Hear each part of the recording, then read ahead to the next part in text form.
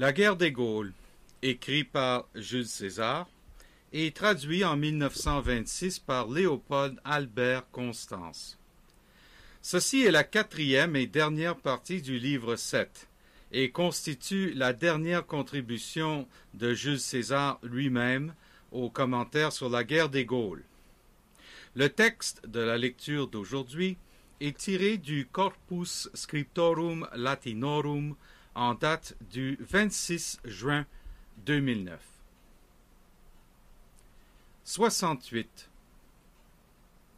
Après cette déroute de toute sa cavalerie, Vercingétorix, qui avait disposé ses troupes en avant de son camp, les mit en retraite, incontinent, et prit la route d'Alésia, ville des Mandubiens, en ordonnant qu'on se hâta de faire sortir du camp les bagages et de les acheminer à sa suite. César, ayant fait conduire ses bagages sur la colline la plus proche, et ayant laissé deux légions pour les garder, poursuivit l'ennemi aussi longtemps que le jour le lui permit, et lui tua environ trois mille hommes à l'arrière-garde. Le lendemain, il campa devant Alésia. S'étant rendu compte de la force de la position, et voyant d'autre part que l'ennemi était terrifié, parce que sa cavalerie, qui était l'arme sur laquelle il comptait le plus, avait été battue, il exhorta ses soldats au travail et entreprit l'investissement de la place. 69. La ville, proprement dite, était au sommet d'une colline, à une grande altitude, en sorte qu'on voyait bien qu'il était impossible de la prendre autrement que par un siège en règle. Le pied de la colline était de deux côtés baigné par des cours d'eau. En avant de la ville, une plaine s'étendait sur une longueur d'environ trois milles. De tous les autres côtés, la colline était entourée à peu de distance de hauteur dont l'altitude égalait la sienne. Au pied du rempart, tout le flanc oriental de la colline était occupé par les troupes gauloises, et en avant elles avaient creusé un fossé et construit un mur grossier de six pieds. Les travaux qu'entreprenaient les Romains se développaient sur une longueur de dix milles. Les camps avaient été placés aux endroits convenables, et on avait construit également en bonne place vingt-trois postes fortifiés.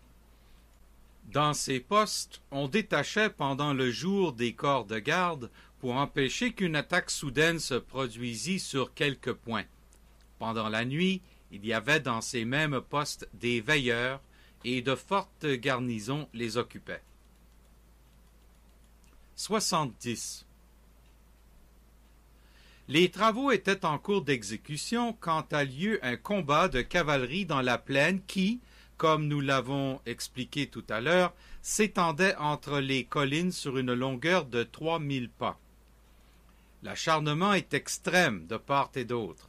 César envoie les Germains au secours des nôtres qui y fléchissent et il range ses légions en avant du camp pour prévenir une attaque soudaine de l'infanterie ennemie.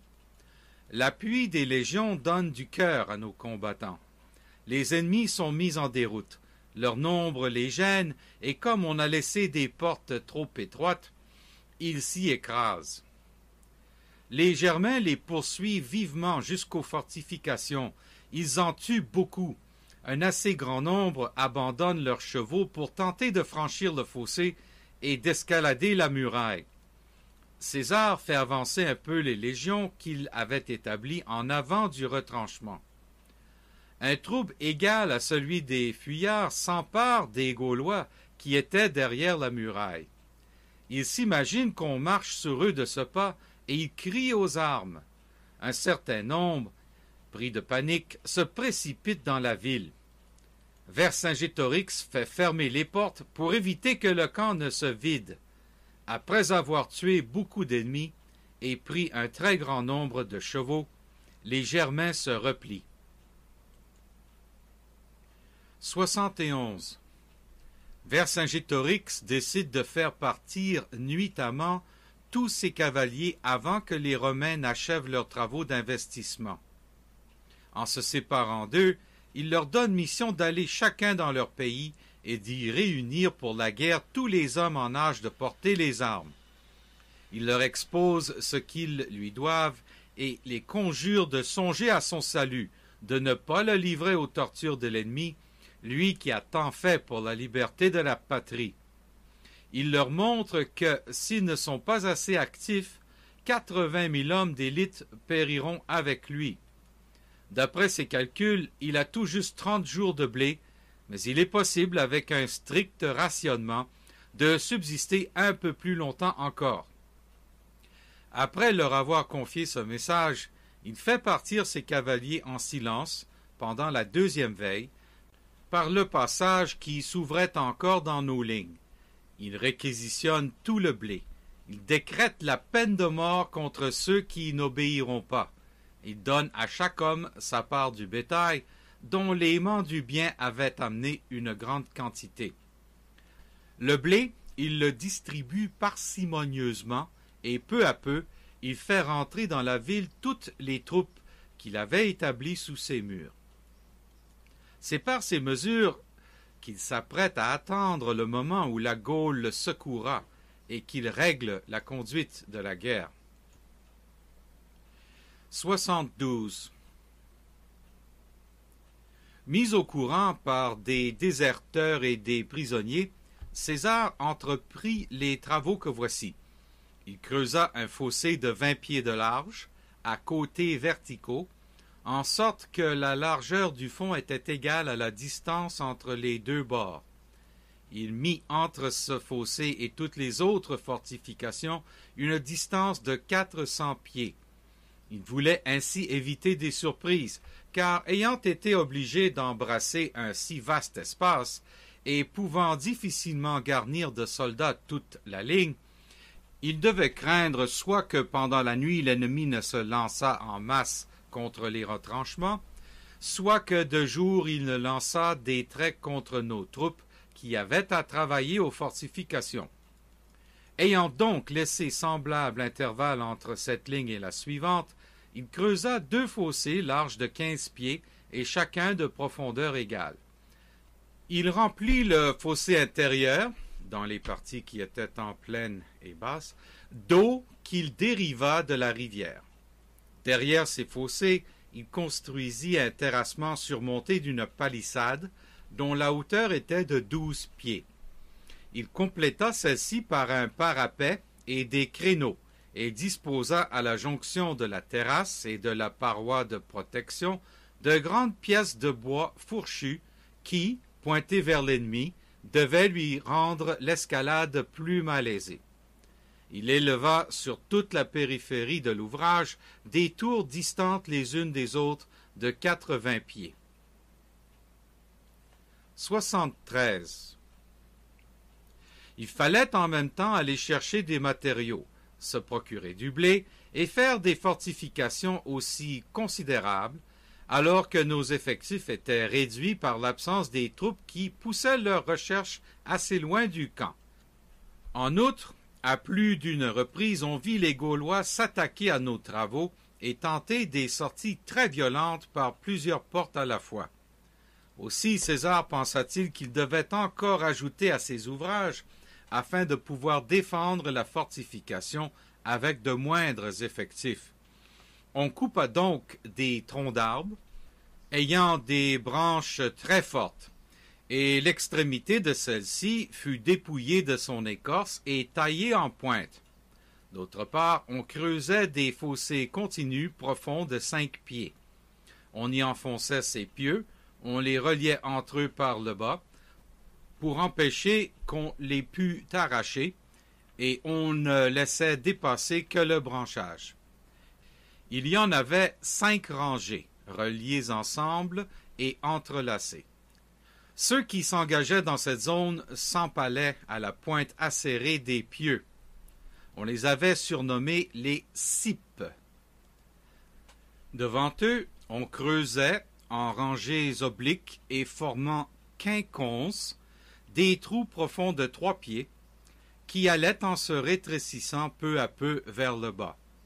On y enfonçait des pieux lisses de la grosseur de la cuisse, dont l'extrémité supérieure avait été taillée en pointe et durcie au feu. On ne les laissait dépasser le sol que de quatre doigts. En outre, pour en assurer la solidité et la fixité, on comblait le fond des trous, sur une hauteur d'un pied, de terre qu'on foulait. Le reste était recouvert de branchages et de broussailles afin de cacher le piège. On en fit huit rangs, distants les uns des autres de trois pieds. On les appelait lys, à cause de leur ressemblance avec cette fleur. En avant de ces trous, deux pieux longs d'un pied, dans lesquels s'enfonçait un crochet de fer, étaient entièrement enfouis dans le sol. On en semait partout et à intervalles rapprochés. On leur donnait le nom d'aiguillons. 74.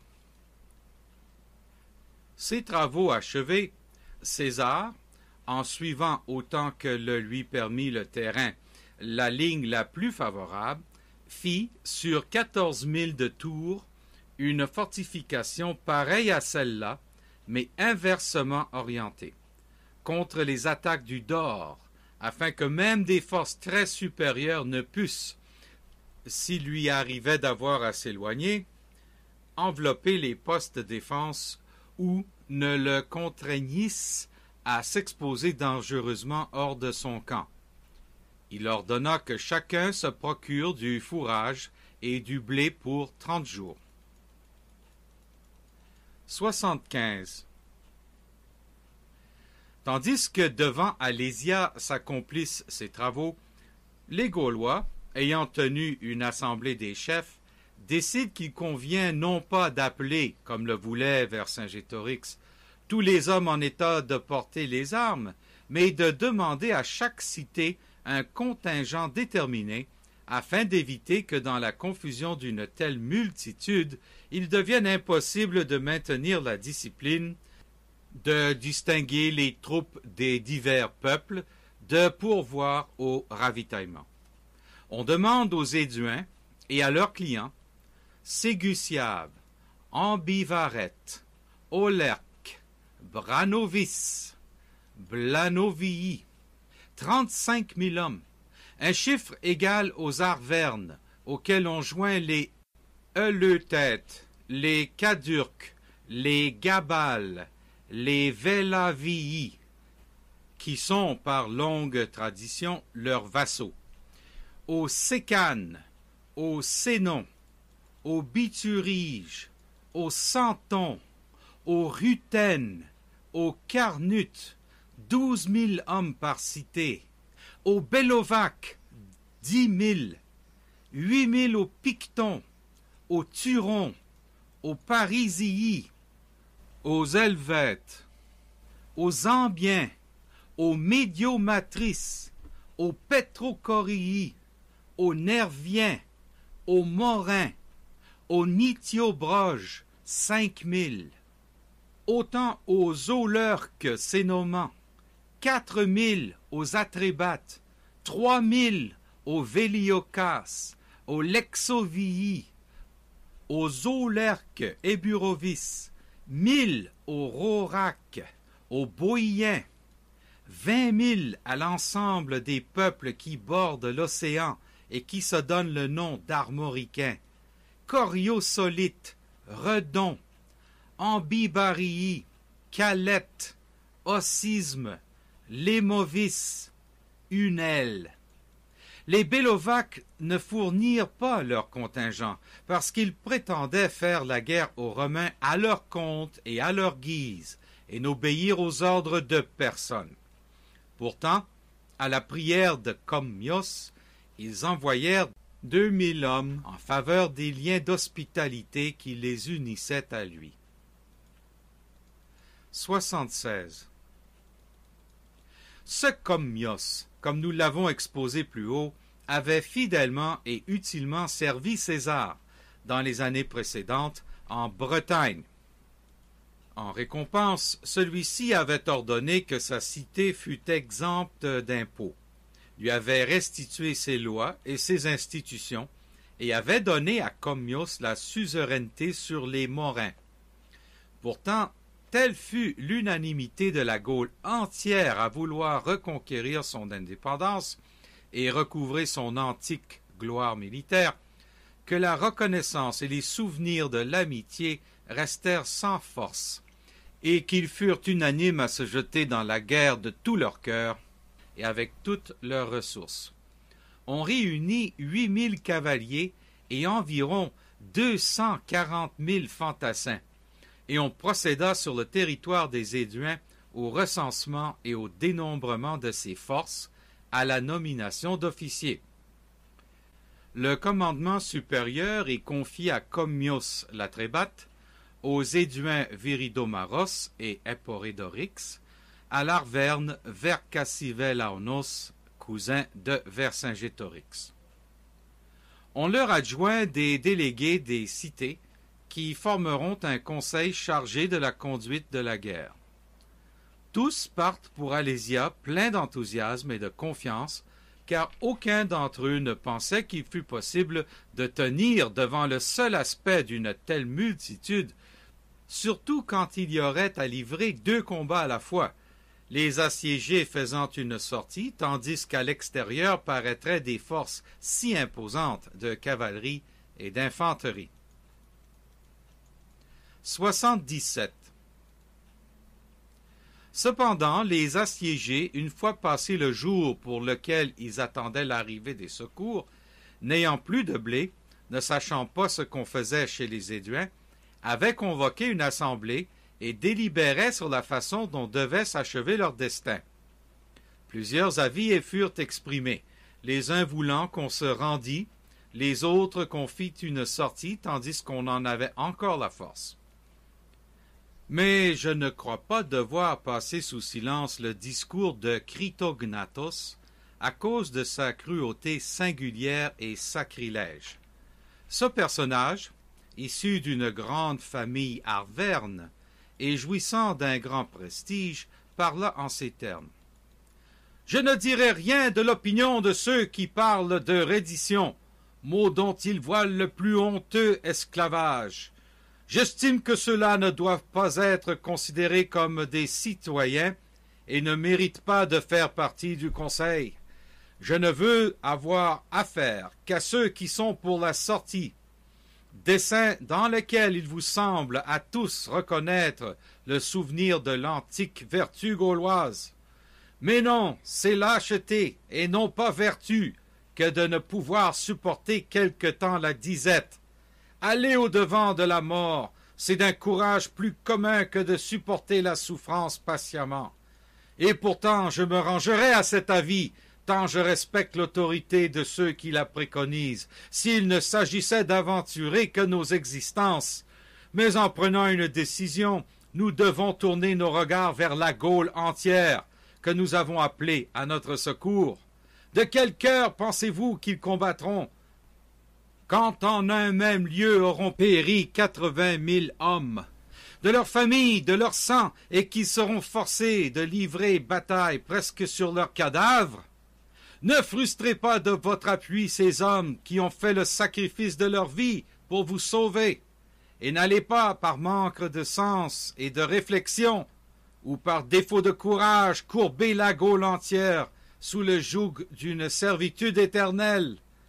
Est-ce que vous doutez de leur loyauté et de leur fidélité parce qu'ils ne sont pas arrivés aujourd'hui? Et quoi? Pensez-vous donc que ce soit pour leur plaisir que les Romains s'exercent chaque jour là-bas dans les retranchements de la zone extérieure? Si vous ne pouvez, tout accès vers nous leur est enfermé, apprendre par leurs messagers que l'arrivée des nôtres est proche, ayez-en pour témoins les Romains eux-mêmes, car c'est la terreur de cet événement qui les fait travailler nuit et jour à leur fortification. Qu'est-ce donc que je conseille?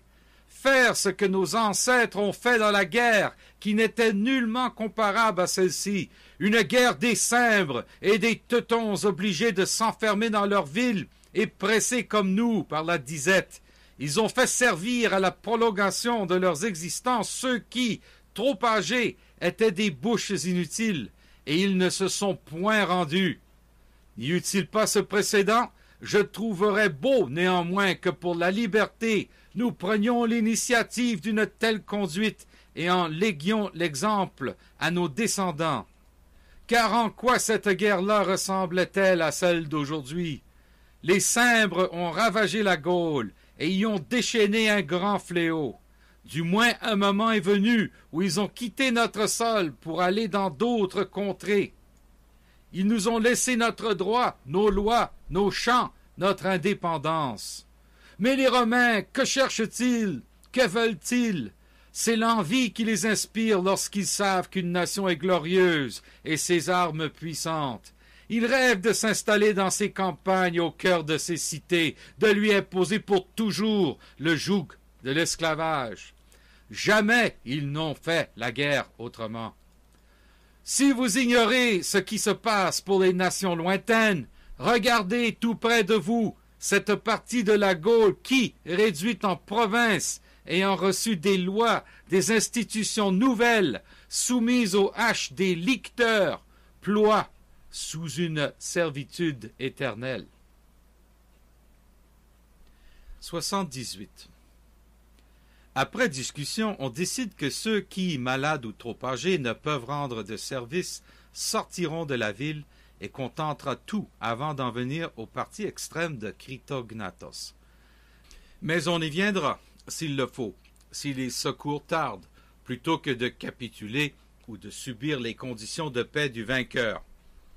Les du bien, qui pourtant les avaient accueillis dans leur ville, sont contraints d'en sortir avec leurs enfants et leurs femmes. Arrivés au retranchement romain, ils demandaient avec des larmes et toutes sortes de supplications qu'on voulût bien les accepter comme esclaves et leur donner quelque nourriture. Mais César disposa sur le rempart des postes de garde et interdisait de les recevoir. 79. Sur ces entrefaites, Comios et les autres chefs à qui on avait donné le haut commandement arrivent devant Alésia avec toutes leurs troupes et, ayant occupé une colline située en retrait, s'établissent à mille pas à peine de nos lignes. Le lendemain, ils font sortir leur cavalerie et couvrent toute la plaine dont nous avons dit qu'elle avait trois milles de long. Leur infanterie, ils la ramènent un peu en arrière et l'établissent sur les pentes en la dérobant à la vue des Romains. D'Alésia, la vue s'étendait sur cet espace. Quand on aperçoit l'armée de secours, on s'assemble, on se congratule, tous les cœurs bondissent d'allégresse. Les assiégés font avancer leurs troupes et les établissent en avant de la ville. Ils jettent des passerelles sur le fossé le plus proche ou le comble de terre. Ils s'apprêtent à faire une sortie et à braver tous les hasards. 80. César dispose toute son infanterie sur ces deux lignes de retranchement afin que, en cas de besoin, chacun soit à son poste et le connaisse. Puis il ordonne que la cavalerie sorte du camp et engage le combat. De tous les camps, qui de toutes parts occupaient les crêtes, la vue plongeait, et tous les soldats, le regard attaché sur les combattants, attendaient l'issue de la lutte. Les Gaulois avaient disséminé dans les rangs de leur cavalerie des archers et des fantassins armés à la légère, qui devaient se porter au secours des leurs s'ils faiblissaient et briser les charges des nôtres. Blessés par eux à l'improviste, beaucoup de nos hommes abandonnaient le combat. Persuadés de la supériorité de leurs troupes, et voyant les nôtres accablés par le nombre, les Gaulois, de toutes parts, ceux qui étaient enfermés dans l'enceinte de nos lignes et ceux qui étaient venus à leur secours, encourageaient leurs frères d'armes par des clameurs et des hurlements. Comme l'action se déroulait sous les yeux de tous, et qu'il n'était pas possible qu'un exploit ou une lâcheté restassent ignorés, des deux côtés, l'amour de la gloire et la crainte du déshonneur excitaient les hommes à se montrer braves. Le combat durait depuis midi. On était presque au coucher du soleil, et la victoire restait indécise, quand les Germains, massés sur un seul point, chargèrent l'ennemi en rang serré et le refoulèrent. Les cavaliers mis en fuite, les archers furent enveloppés et massacrés. De leur côté, nos cavaliers, s'élançant des autres points du champ de bataille, poursuivirent les fuyards jusqu'à leur camp et ne leur permirent pas de se ressaisir. Ceux qui, d'Alésia, s'étaient portés en avant, accablés, désespérant presque de la victoire, rentrèrent dans la ville. 81. Les Gaulois ne laissent passer qu'un jour et pendant ce temps fabriquent une grande quantité de passerelles, d'échelles et de harpons. Puis, au milieu de la nuit, en silence, ils sortent de leur camp et s'avancent vers nos fortifications de la plaine. Ils poussent une clameur soudaine pour avertir les assiégés de leur approche, et ils se mettent en mesure de jeter leurs passerelles, de bousculer en se servant de la fronde, de l'arc, en lançant des pierres, les défenseurs du retranchement, afin de déployer tout l'appareil d'un assaut en règle. Au même moment, entendant la clameur, Vercingétorix fait sonner la trompette pour alerter ses troupes et les conduit hors de la ville. Les nôtres rejoignent au retranchement le poste qui, dans les jours précédents, avait été attribué individuellement à chacun, avec des frondes, des casse-têtes, des épieux qu'ils avaient disposés sur le retranchement, ils effraient les Gaulois et les repoussent. L'obscurité empêche qu'on voit devant soi, et les pertes sont lourdes des deux côtés. L'artillerie lance une grêle de projectiles. Cependant, les légats Marcus Antonius et Caius Trebonius, à qui incombait la défense de ce secteur, envoyaient sur les points où ils comprenaient que nous faiblissions des renforts qu'ils empruntaient aux fortins situés en arrière. 82. Tant que les Gaulois étaient à une certaine distance du retranchement, la multitude de traits qu'ils lançaient leur assurait un avantage. Mais lorsqu'ils furent plus près, les aiguillons les transperçaient soudain, ou bien ils tombaient dans des trous et s'y empalaient, ou bien du haut du retranchement et des tours les javelots de siège les frappaient mortellement.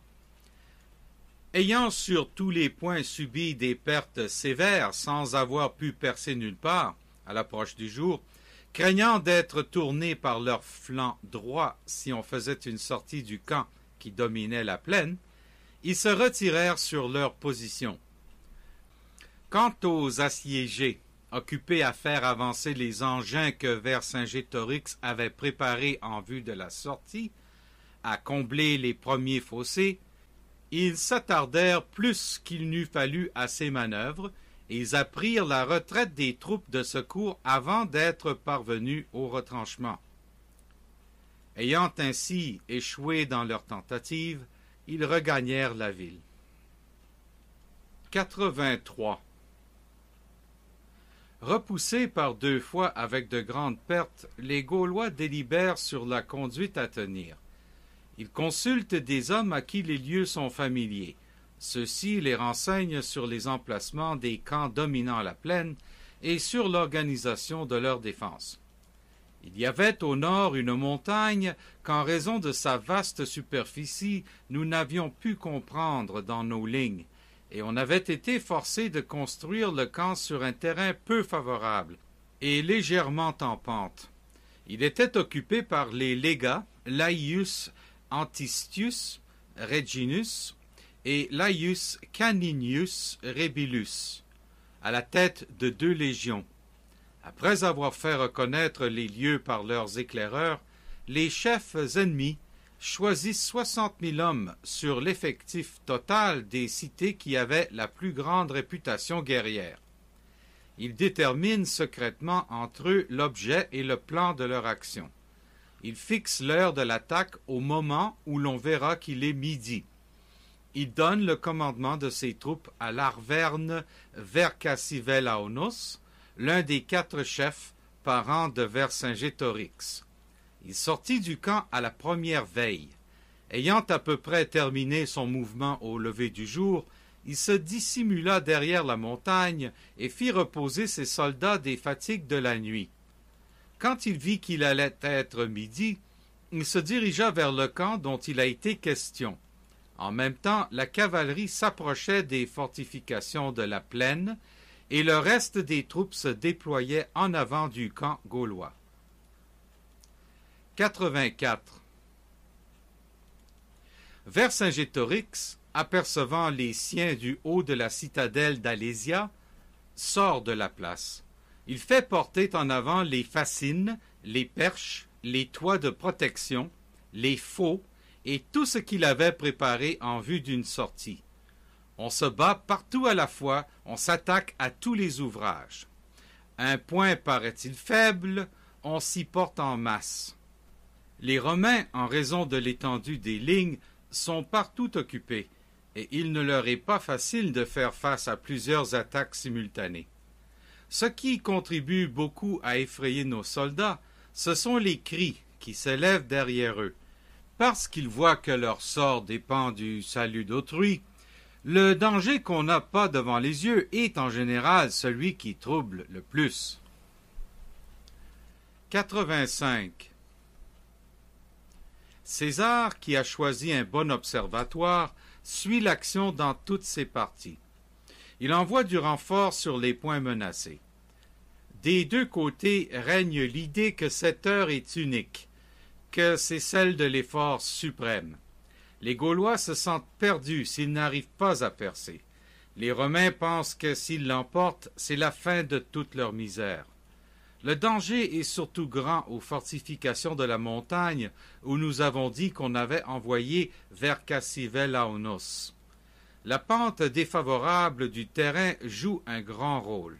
Les uns jettent des traits, les autres s'approchent en formant la tortue. Des troupes fraîches remplacent sans cesse les troupes fatiguées. La terre que tous les assaillants jettent dans nos ouvrages leur permet l'escalade et recouvre les obstacles que nous avions dissimulés dans le sol. Déjà les nôtres n'ont plus d'armes et leur force les abandonne. 86. Quand il apprend cela, César envoie Labienus avec six cohortes au secours de ceux qui sont en péril. Il lui donne l'ordre, s'il ne peut tenir, de ramener des cohortes et de faire une contre-attaque, mais seulement à la dernière extrémité. Il se rend lui-même auprès des autres combattants, les exhorte à ne pas céder à la fatigue. Il leur montre que de ce jour, de cette heure, dépend le fruit de tous les combats précédents. Les assiégés, désespérant de venir à bout des fortifications de la plaine, car elles étaient formidables, tentent l'escalade des hauteurs. Ils y portent toutes les machines qu'ils avaient préparées. Ils chassent les défenseurs des tours sous une grêle de traits, comblent les fossés avec de la terre et des fascines, font à l'aide de faux une brèche dans la palissade et le parapet. 87. César envoie d'abord le jeune Brutus avec des cohortes, puis son légat, Caius Fabius, avec d'autres. À la fin, la lutte devenant plus vive, il amène lui-même des troupes fraîches. Ayant rétabli le combat et refoulé l'ennemi, il se dirige vers l'endroit où il avait envoyé Labienus. Il prend quatre cohortes au fort le plus voisin et ordonne qu'une partie de la cavalerie le suive, que l'autre contourne les retranchements extérieurs et attaque l'ennemi à revers.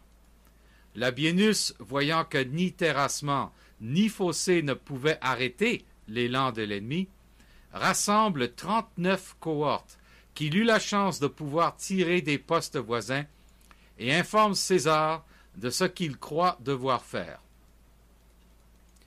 88. César se hâte pour prendre part au combat, reconnaissant son approche à la couleur de son vêtement, le manteau de général qu'il avait l'habitude de porter dans l'action, et apercevant les escadrons et les cohortes dont il s'était fait suivre, car des hauteurs que les Gaulois occupaient, on voyait les pentes que descendait César. les ennemis engagent le combat. Une clameur s'élève des deux côtés, et aussitôt y répond de la palissade et de tous les retranchements une clameur. Les nôtres, renonçant au javelot, combattent avec l'épée. Soudain les ennemis aperçoivent la cavalerie derrière eux. De nouvelles cohortes approchaient. Ils prirent la fuite. Nos cavaliers leur coupent la retraite. Le carnage est grand. Cédulus, chef militaire des Lémovis et leur premier citoyen, est tué. L'Arverne, Vercassivellaonos, est pris vivant, tandis qu'il s'enfuit. On apporte à César soixante-quatorze enseignes. Bien peu d'une armée si nombreuse rentre au camp sans blessure. Apercevant de la ville le massacre et la fuite de leurs compatriotes, les assiégés, désespérant d'être délivrés, ramènent leurs troupes du retranchement qu'elles attaquaient. À peine entendent-elles le signal de la retraite, les troupes de secours sortent de leur camp et s'enfuient. Si nos soldats n'avaient été harassés pour être maintes fois intervenus en renfort et avoir été à la peine toute la journée, on aurait pu détruire entièrement l'armée ennemie. La cavalerie, lancée à sa poursuite, atteint l'arrière-garde peu de temps après minuit. Beaucoup sont pris ou massacrés. Les autres, ayant réussi à s'échapper, se dispersent dans leur cité. 89. Le lendemain, Vercingétorix convoque l'Assemblée il déclare que cette guerre n'a pas été entreprise par lui à des fins personnelles, mais pour conquérir la liberté de tous. Puisqu'il faut céder à la fortune, il s'offre à eux, ils peuvent, à leur choix, apaiser les Romains par sa mort ou le livrer vivant. On envoie à ce sujet une députation à César. Il ordonne qu'on lui remette les armes, qu'on lui amène les chefs des cités. Il installa son siège au retranchement, devant son camp. C'est là qu'on lui amène les chefs. On lui livre Vercingétorix, on jette les armes à ses pieds. Il met à part les prisonniers Éduin et Arverne, pensant essayer de se servir d'eux pour regagner ses peuples, et il distribue les autres à l'armée entière, à titre de butin, à raison d'un par tête. 90. Tout cela réglé, il part chez les Éduins. La cité fait sa soumission. Des ambassadeurs arvernes viennent l'y trouver, se déclarant prêts à exécuter ses ordres. Il exige un grand nombre d'otages. Il envoie les légions prendre leurs quartiers d'hiver. Il rend aux Éduins et aux Arvernes environ vingt mille prisonniers. Titus Labienus, avec deux légions et la cavalerie, reçoit l'ordre de partir chez les Sécanes. Il lui adjoint Marcus Sempronius Rutilus. Il place Laius Fabius et Lucius Minucius Basilus avec deux légions chez les Rèmes, pour que ceux-ci n'aient rien à souffrir de leurs voisins, les Bellovaques. Laius Antistius Reginus est envoyé chez les ambivarettes, Titus Sextus chez les bituriges, Laius Caninius Rebilus chez les rutènes, chacun avec une légion. Quintus Tullius Cicéron et Publius Sulpicius sont cantonnés à Chalon et à Mâcon, chez les Éduins sur la Saône pour veiller au ravitaillement. Quant à lui, il décide de prendre ses quartiers d'hiver à Bibracte. Lorsque ces événements sont connus à Rome par une lettre de César, on célèbre des supplications de vingt jours.